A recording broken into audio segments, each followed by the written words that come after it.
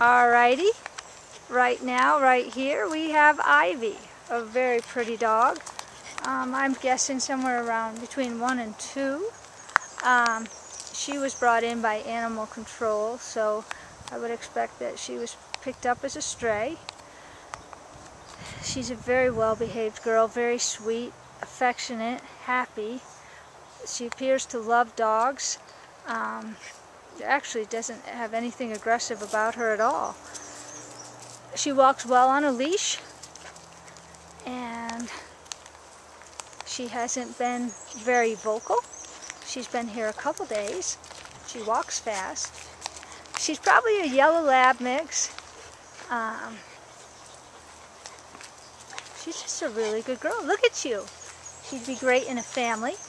She'd be great for an individual somebody who likes to walk and hike. Um, I think she pretty much fit. There's a pretty girl. You guys are walking fast. Sorry. That's all right. She tends to want to pull you. Just a little bit. She's a good girl, though. Look at you. Yes, you are, I know it. Were you pulling on your leash? Oh, jeez. Pretty, pretty girl. But yeah, you can tell she'd make a wonderful companion to go hiking and walking with.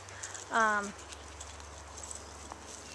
so if you'd like to know more about Ivy, we'll know more in a few days. She's, like I said, she's only been here a couple days.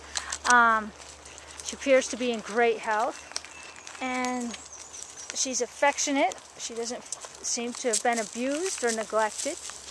So you can call me at 870 577 3744. Again, that's 870 577-3744 and ask about Ivy. Today is, I think, the 8th or the 9th, so this is very recent. Thank you so much and enjoy your day.